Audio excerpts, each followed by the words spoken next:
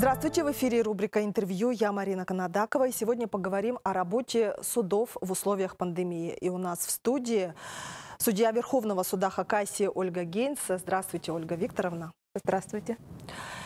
Конечно, пандемия – это для всех совершенно новое обстоятельство было. Вот как э, суды республики приспособились э, к работе в условиях режима ограничений? Впервые в новейшей истории были введены специфические ограничительные меры в деятельности судов, в результате которых действительно пришлось буквально приспосабливаться к работе в текущих условиях.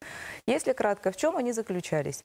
Во-первых, всем судам Российской Федерации было рекомендовано приостановить личный прием граждан, принимать документы только по почте, либо с использованием э, средств электронной связи, ограничить посещение зданий и помещений судов гражданами, и, наконец, при наличии технической возможности принимать все возможные меры по рассмотрению дел и материалов с применением систем видеоконференц-связи. Причем рассмотрению подлежали в первую очередь только неотложные дела и материалы. И Характер этого материала, является ли то или иное дело неотложным, первое время должен был определять только сам судья. Безусловно, это вызвало большую сложность, поскольку это абсолютно новые условия, в которых судебная система еще не работала. Как эта работа происходила? Прежде всего, к неотложным суды относили материалы, которые прямо затрагивали конституционные права и свободы граждан. Это, в частности, об избрании, э, продлении, изменении либо отмене мер пресечения по уголовным делам в виде заключения под стражу, домашнего ареста, запрета определенных действий. К числу таковых относились также некоторые жалобы на действия органов предварительного расследования. Например, в практике был случай в первом полугодии прошлого года о том, что Багратский районный суд Республики Хакасия удовлетворил жалобу адвоката на действия следователя, который отказался перенести следственные действия ввиду нахождения на самоизоляции. Хочу сказать, что спорным и неоднозначным для суда оказался вопрос обеспечения дистанционного участия. Действующее процессуальное законодательство не всегда дают возможность рассмотреть какое-либо дело, либо материал, особенно при производстве в суде первой инстанции, посредством использования видеоконференц-связи. В ряде случаев необходимо личное присутствие гражданина в зале судебного заседания. Практика только начинает формироваться, несмотря на то, что прошел уже год. Но впереди, очевидно, еще много новых вопросов, которые предстоит разрешить. И как они будут решаться, покажет время. Я вот не очень поняла, все-таки э, пострадавшая сторона, вот какое-то уголовное дело, есть пострадавшая сторона, она может присутствовать на заседании суда, вы их пускаете в залы? Безусловно, стороны по делу присутствуют в зале судебного заседания.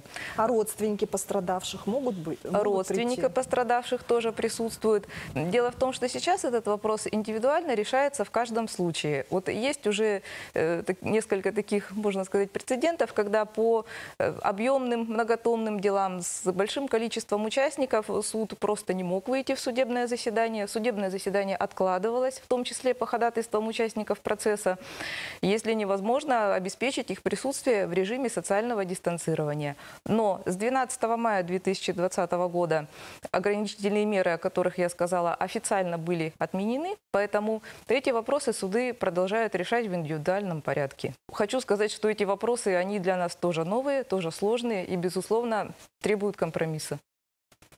Еще один из новых э, вопросов правоприменительной практике в целом по стране – это соблюдение санитарного режима, который был введен э, год назад. И, э, конечно, судам предстояло решить важную задачу – это вот определять наказание для тех, кто нарушает санитарные правила.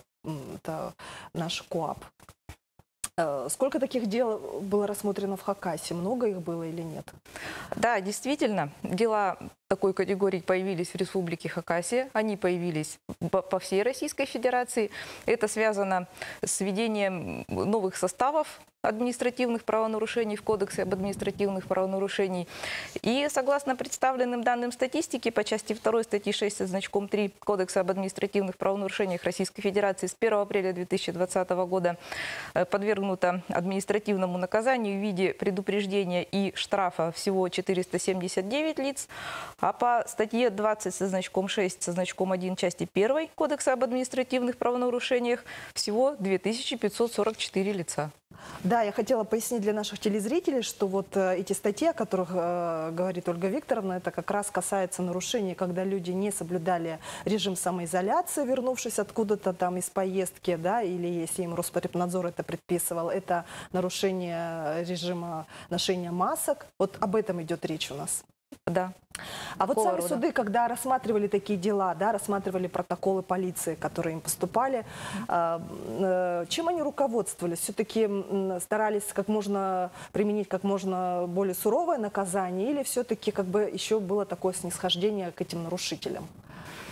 Здесь тоже возникало очень много практических вопросов, сложностей. Например, вот я знаю, что есть пример в практике уже нашего суда, Верховного суда Республики Хакасия, когда суд м, проверял уже по жалобам стороны участника несогласного вот с административным наказанием и установил такие нарушения в действиях сотрудников полиции, э, которые выразились в том, что при составлении протокола не были должным образом сотрудники полиции не проверили личность лица и составили протокол в отношении другого гражданина. Вот этого гражданина от ответственности освободили.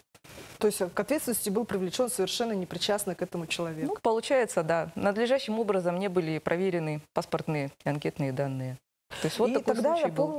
Э, той весной было очень много вопросов, когда люди в принципе не понимали, за что, что они нарушили, почему вдруг полиция э, имеет к ним какие-то вопросы, и потом их вызывает суд. Вообще здесь не только недоумение вызывала сложившаяся ситуация у граждан, недоумение, в принципе, вызывала сложившаяся ситуация у всех юристов. И на сегодняшний день есть уже небольшие ориентиры у судебной практики. Это разъяснения Верховного суда Российской Федерации, которые выпущены уже в трех обзорах. Они так и называются, именно обзоры по применению отдельных вопросов судебной практики в связи с принятием в Российской Федерации мер, связанных с противодействием распространению новой коронавирусной инфекции.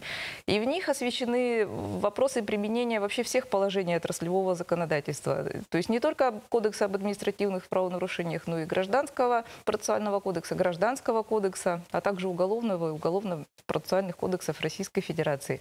Эти документы опубликованы официально, имеются в интернете и в открытых источниках. Ну, можно с ними ознакомиться для того, чтобы получить представление о каких-то ориентирах судебной практики.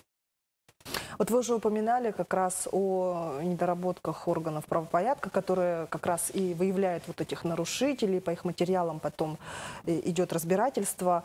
Э, Скажите, пожалуйста, сейчас, когда уже вот прошло столько времени, да, когда у нас действует такой режим, уже эта схема отработана, уже меньше ошибок в составлении протоколов. Судьям теперь легче как-то вот разбираться в деле и выносить свое решение.